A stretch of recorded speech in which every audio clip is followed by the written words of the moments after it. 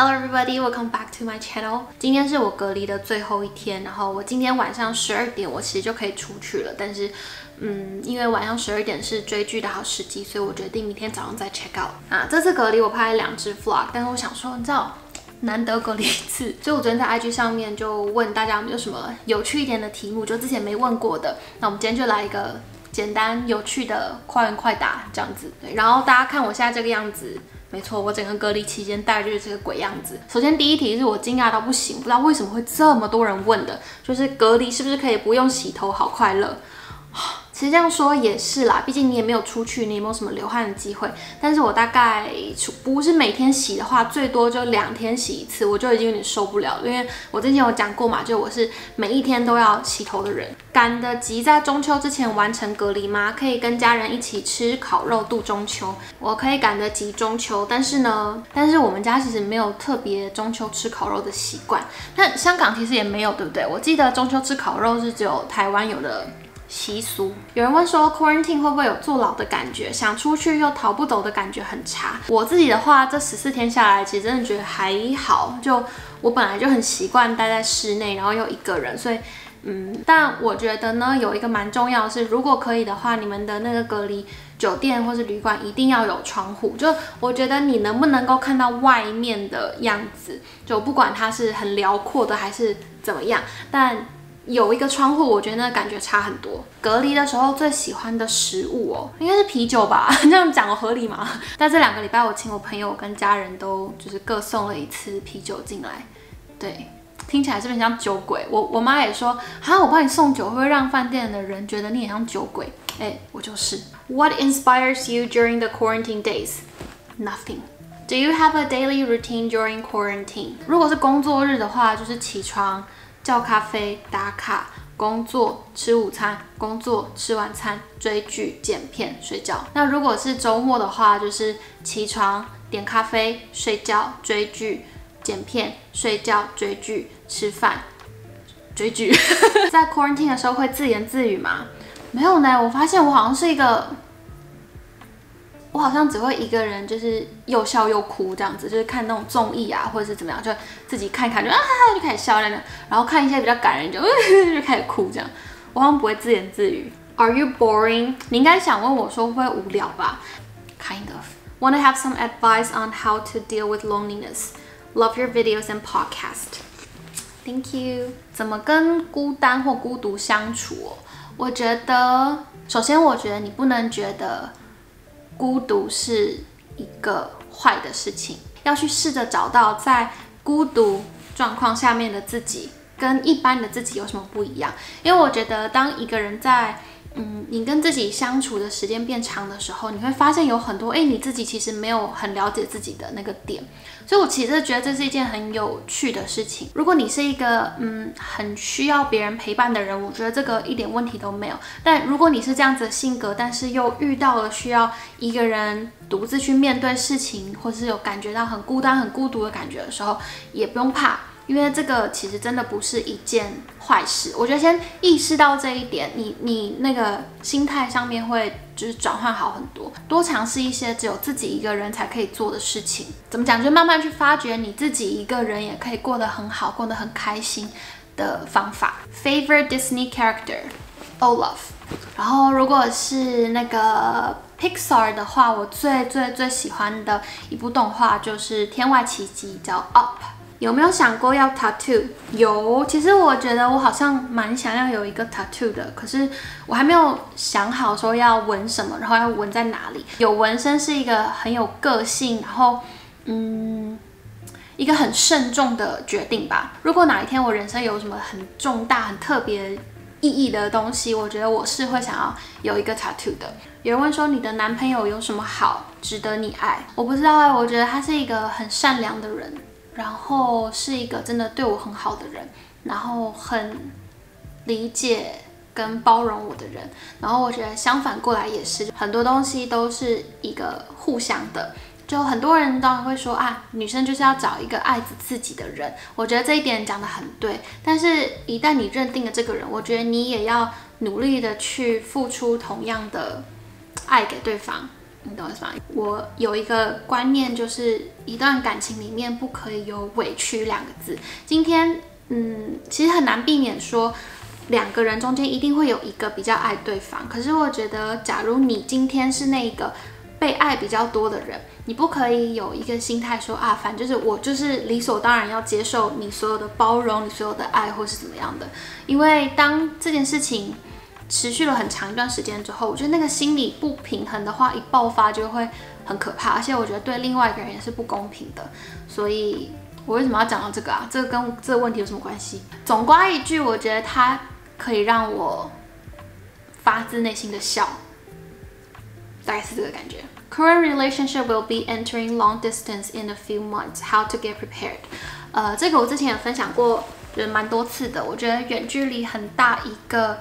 要能够维持的因素就是双方要有共识。第一个是你们预计要 long D 多久，然后第二个是双方是不是都已经有心理准备，说 long D 可能会带来的影响，例如说你们有时差，或者是你们可能不能随时随地的跟对方报告自己的一举一动，然后是不是能够给对方完全的信任等等。如果你是准备要踏入 long D 的话，我觉得先问你自己，呃，你是不是觉得这个人值得你？去面对这样子的挑战，如果是的话，我觉得就不要把它看成是一个好像坟墓的感觉。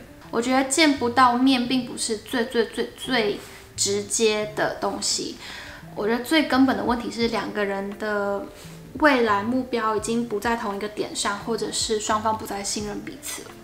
对，怎么好严肃哦？这一集就是什么恋爱智商是吗？Which song did you listen to the most during quarantine？我真的听了非常多周深、毛不易，然后江涛跟 Eden 的歌哦，还有就是一些我平常听的韩文歌啦。但我会把它就是列在这里给大家看，就是我。呃，在 quarantine 期间听最多最多最多的歌单，我是有一次在 YouTube 上面就是很 random 被推播到周深的一个表演，我就一个节目看完看下一个节目，然后听了很多的歌，我就越来越被他的呃唱功啦、个性啊，就就是被圈粉了这样子。我最近真的认真的发现那种。呆萌呆萌，然后有才华的男生就是最容易吸引我的，你知道吗？毕竟我以前一直觉得我的理想型是那种就是成熟稳重、很内敛的大叔，就是后来发现不是这种呆萌呆萌的，我真的一点抵抗力都没有。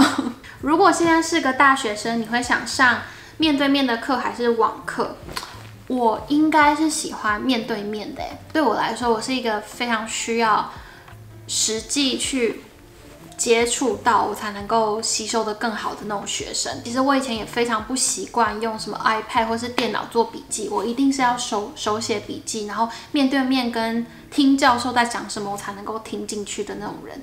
而且你不觉得你都已经缴了学费，然后如果你是那种念国外大学的话，你缴这么多学费，然后还只能上网课，你不觉得很亏吗？我觉得贪小便宜。会害怕 becoming thirty 吗？这个问题呢，其实我也一直在问我自己，就觉得哇，其实我现在离三十真的也不远了。但我最近有领悟出一个新的想法，就我以前会觉得哇，三十听起来很老，然后很怎么样怎么样。但是我现在也不会去特别羡慕可能十几岁或二十几岁的朋友。我有时候看着他们可能在经历的事情或者在做的事，我会觉得那一段时间其实是。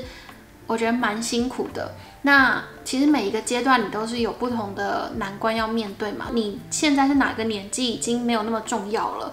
我会更想要 focus 在我去 tackle 我现在这个阶段要面对的难题就够了，你知道吗？你真的放你所有的心思在，例如说我现在二十七岁，我放所有心思在解决我二十七岁的问题，就已经够我忙了。我没有想要再花更多的心神去担心说啊我三十怎么办，因为。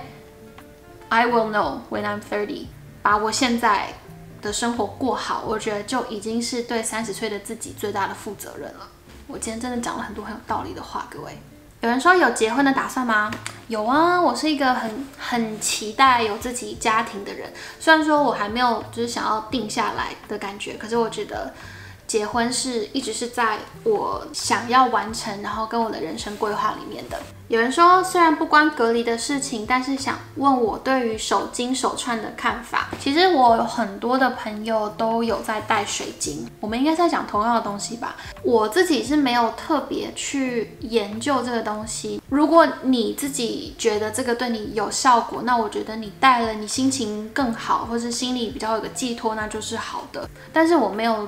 在这方面特别迷信还是怎么样啊？有人说哐啷哐啷哐啷有几匹马，这是什么问题啊？有有有几匹马？哐啷哐啷哐啷不就一匹吗？哐啷哐啷哐。如果是两匹的话，应该是哐啷哐啷哐啷哐啷哐啷哐啷哐啷吧？有人说有想过转行吗？有啊，怎么会没有呢？首先我并没有想要做我现在这个工作做一辈子，我觉得我一直都觉得这个世界上还有。非常非常多的事情可以去尝试跟体验的。虽然说现在这个工作，我只是因为这个工作认识了很多人，然后我觉得遇到我生命中很多贵人也好，或是很多朋友也好，我觉得都都是我很很感激这个工作带给我的呃礼物吧。终究我觉得我还是会想要再体验看看别的东西，但这个东西是什么，我觉得还。没有到很清晰吧，在我的脑袋里面，呃，让自己有这个能力，或是有这个底气，对自己人生选择上面有更大的自由度。其实我一直都蛮向往，就是有一份 freelance 的工作，然后再搭配另外一个是可能比较稳定一点的工作，就像我现在这样子。那这样子的话，如果我以后想要转行到另外一个东西，我可能至少还有一个 freelance 的东西可以，就是 kind of support myself through a certain period of time。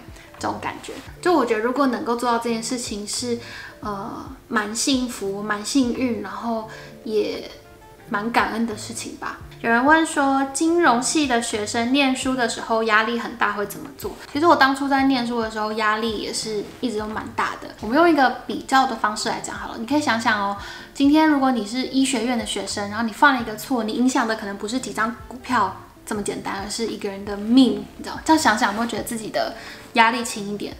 没有，是不是？我觉得我在大学里面学的金融，到职场上之后，其实很大一部分就是又打掉重来了。你的未来还有更多、更多、更多、更多的压力在等着你，所以，嗯，先不要太低估自己的抗压性，好不好？好像没有嘞，我好像差不多回答完了。哦哦，我想起来，刚刚有人想问说，我怎么绑那个？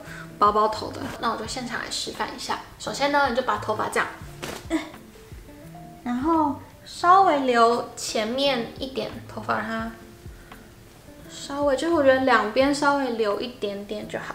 然后你把头发拉到就是差不多正上方的时候，就这样转两圈，然后这样绕。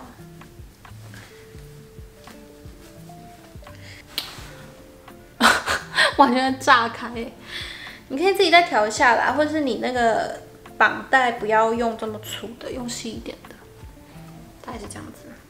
头发很油的时候就可以绑这种头。那今天的影片就差不多到这里，非常快速的完成了今天的隔离 Q&A，希望大家会喜欢。大家可以期待之后还会有另外一个隔离 Q&A，因为我回香港之后还要再重新隔离一次，所以哇，先这样子，我们下次影片见，拜拜。Is this what it means to have growing pains? Never come out the way you went in the same. Just as diamonds shine from pressure, babe. You don't know true love until